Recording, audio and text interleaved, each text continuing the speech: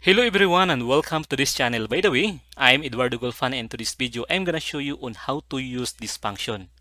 This function guys is usually used in navigation form, just like this one guys. And it is used to move from one form to another form or from one page to another page. So to give you an idea guys, let me show you my sample. So this one, this is my landing page or my welcome page. And sample, change password. What if I want to change this? Validate.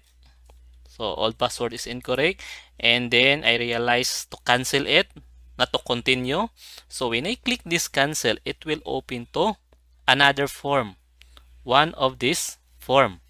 So like for example click this one cancel.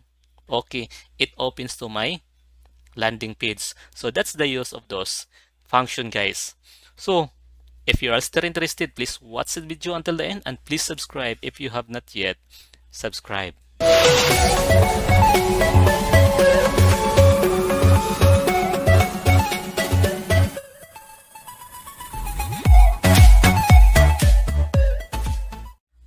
Let us start guys.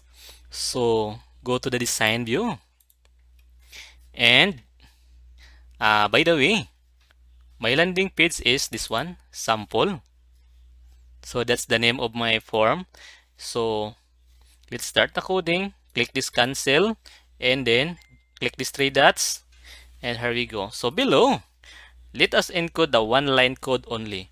So do cmd dot browse to okay that one. And then space. So we have two options here. Form or report. So but we will use this one form. This because this is what we need. Okay. And then comma to proceed so object name, asking for the name of the form to be open. So this one, since this is uh, the form that we need, so double quote, and then let's type sample.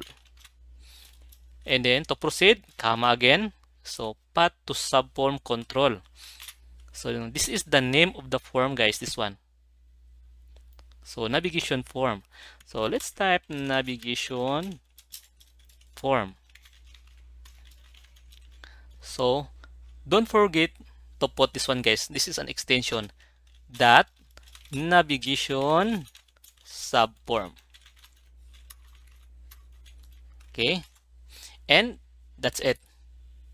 So save and close. So form view. So let us go back. Try this. When we click cancel, here we go. It opens to the landing page. So what if we want to open this one guys, the asset transfer or the employee accountability or employee. So we can do that also guys. So like for example this one asset transfer. By the way, the name of this um, form is this one. The copy of asset transfer. Okay. This is it. So Remember this name, copy of asset transfer. So let's go back. Design view. Click this, cancel. Three dots. So let us replace this to copy of asset transfer. Please make sure the spelling is correct. Okay. And save. Close. And form view. So go to change password.